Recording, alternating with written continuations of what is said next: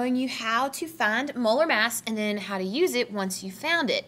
So one of the first things that we're going to start with, I noticed that you guys were having a little bit of difficulty knowing exactly how to round it. I, am not sure if it's maybe because, you know, it's been a long time since you learned how to do it, been a long time since you used it, I don't know, but we're just going to have a little refresher course on how you round. And then I'll show you how to calculate the molar mass of a couple of different compounds from uh, the worksheet that I gave you guys in class on Tuesday, and then um, what to do with that molar mass once you have it. So starting out, how to round. Come on, erase, erase, there we go. Um, if you are given your masses, I mean, not if, when, uh, and I tell you guys, okay, round them to two decimal places. That's about as far as you need to go to make sure that you have enough sig figs um, for your calculations. And so taking a mass and rounding it to two decimal places. So we're going to look at oxygen, we'll look at calcium, we can look at iron, and let's look at chlorine. So we're going to round these four masses to two decimal places. So oxygen on the periodic table is 15.9994. Units on this would either be AMUs if we're talking about an individual atom of oxygen or grams per mole if we're talking about a mole of oxygen atoms. Calcium on the periodic table is 40.0 0.81 grams per mole. Iron is 55.845 and chlorine is 35.453 and we're going to round all of these guys to two decimal places. So starting with oxygen, whenever you're rounding things you just go one, two, there's our second decimal place and we're going to round according to this guy. Well, this 9 tells me to round this 9 up. So this 9 becomes a 0. We carry that 1 over here. 1 plus 9 gives me another 10.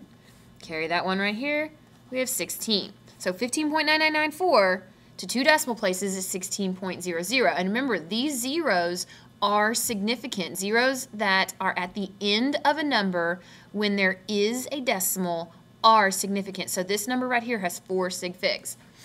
40.081 two sig fig or to two decimal places. We go one, two, round according to that guy. This one tells me to keep that number just as it is, so to two decimal places, calcium is 40.08. Here, we have 55.845, one decimal, two decimal place, round according to that guy. A 5 tells us to round this guy up. And so the 4 is going to become a 5, and we have 55.85. Now, I know that some of you are thinking, well, okay, this 5 tells me to round this 4 up to a 5, which then tells me to round this 8 up to a 9. And no, that's not how it works. Whenever you're rounding, you look at one number for rounding and one number to be rounded. Any numbers that come in front of it are going to just stay as they are unless you have this situation right here where you just got a whole series of nines. And then each nine is affected because the next number up is 10. Coming down here, 35.453, count one decimal place, two decimal, remember this is a decimal, not a comma. 453 and round according to the 3, so we're just going to keep it the same, 35.45. All right, so now calculating some molar masses. I am just simply going to write down some formula compounds, and then you can pause it, figure out your molar masses, and then hit play, and I'll show you how to work them out. So we're going to do KMNO4, the very beautiful purple potassium permanganate. We're also going to do some calcium nitrate. And let's do some copper 2 sulfate pentahydrate. I'll tell you what to do with this in just a second. So starting up here at KMNO4, potassium permanganate. All you have to do to figure out the molar mass of a compound is take the molar mass of each of the elements that are in here and just simply add them up. So potassium on the periodic table rounded to two sig figs, or to two decimal places, is 39.10. Add to that manganese, which is 54.94. Add to that, we have four oxygens here, so we actually need to take 4 times 16.00, or you could just write 64 if you do that in your head. And that is going to be equal to 158 uh, grams per mole. Now, I rounded that too much, but you know, if you're close to that, you're good. Um, calcium nitrate.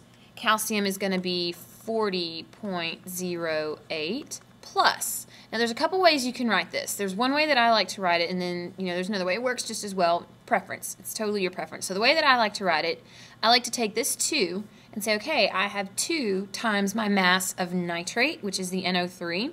So I'm going to put this in here. Nitrate is 14.01 plus 3 times oxygen. And oxygen is 16. Close that parenthesis, close this one, and I'll enter it into my calculator exactly like this. The other way that you could write it out, you could do the 40.08 plus 2 times 14.01 plus, since we have 2 times 3, we actually have 6 oxygen, so you just put a 6 there. Works the exact same way. And in this particular case, our answer is 164, give or take. I'm not rounding these right. Uh, probably 164.09 if I had to guess. Uh, and then copper sulfate pentahydrate.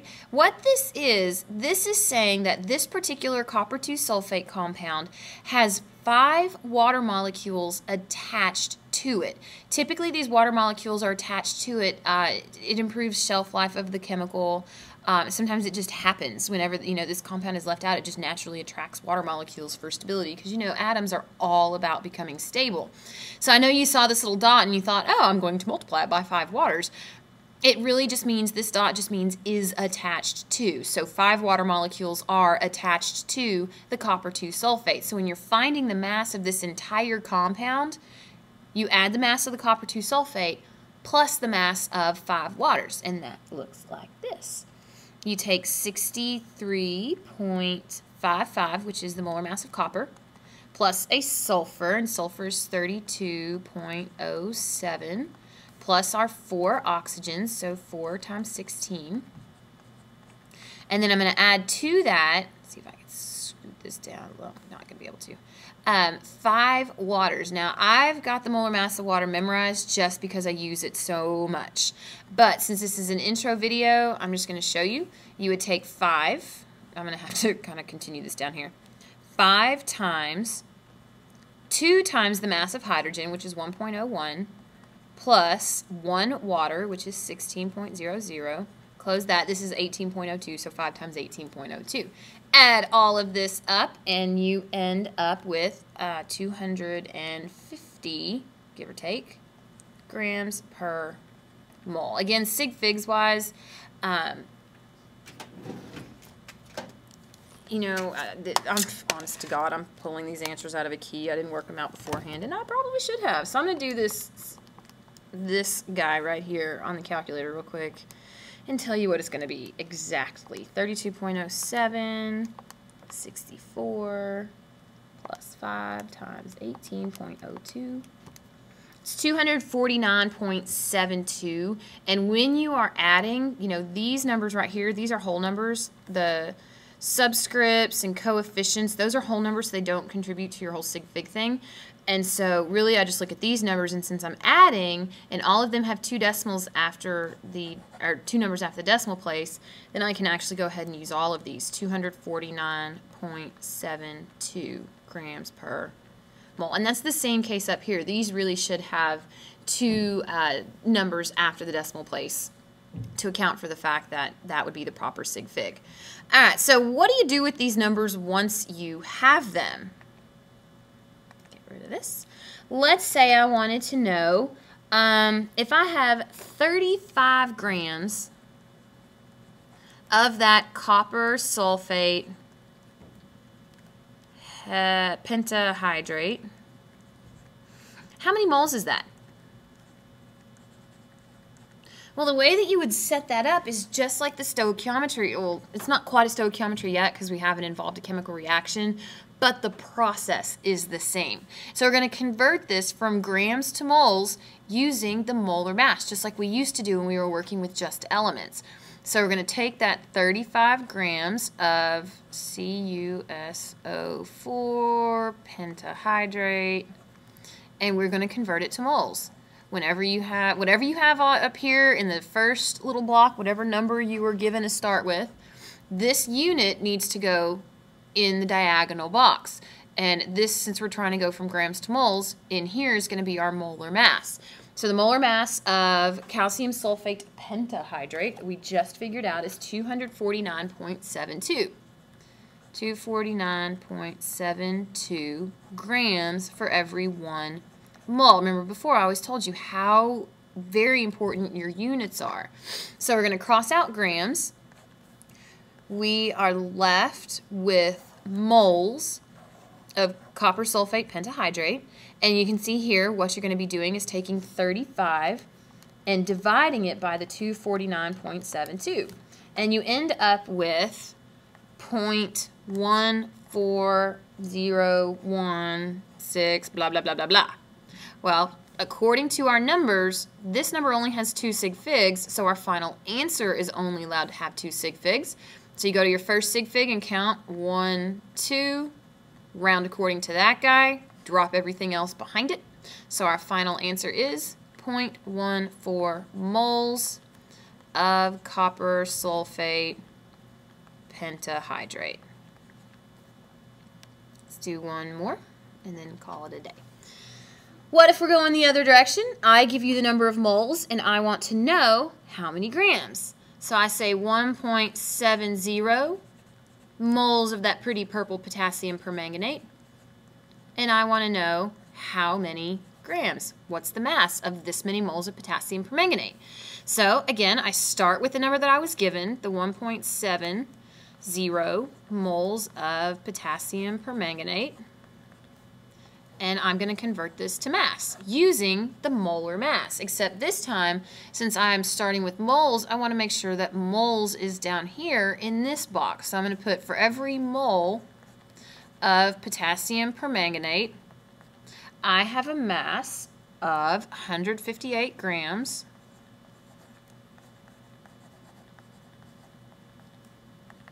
Work this out. My, excuse me, Moles of potassium permanganate cancel out. I'm left with grams of potassium permanganate.